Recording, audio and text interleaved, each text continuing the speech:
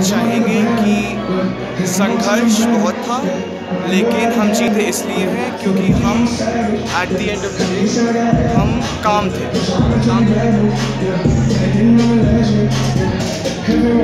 और जीता संघर्ष से नहीं जाता है, जीता साथ में काम करके जाता है। हमने साथ में काम किया और हम जीते हैं। धन्यवाद।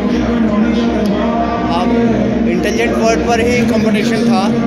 क्या लगा आपको शिमला जैसी सिटी में ये आपका पहला कंपटीशन था जब जब आपने पहली बार यहाँ पर पार्टिसिपेट किया है? जी, शिमला हम पहली बार आए हैं और हम मॉल रोड भी गए थे। वहाँ हमने घूमा भी और जो जो इंस्टीट्यूशन है बी सी एस यहाँ पर हमको अच्छा भी लगा और डिबेट का जो इन्वायरमेंट था, जो माहौल था